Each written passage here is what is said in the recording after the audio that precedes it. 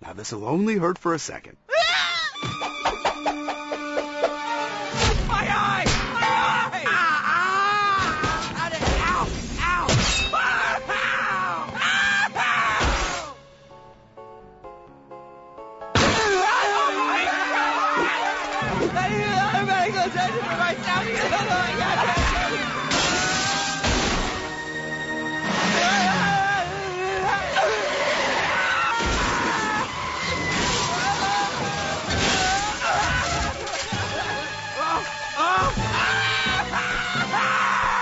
And that's what'll happen if you flinch.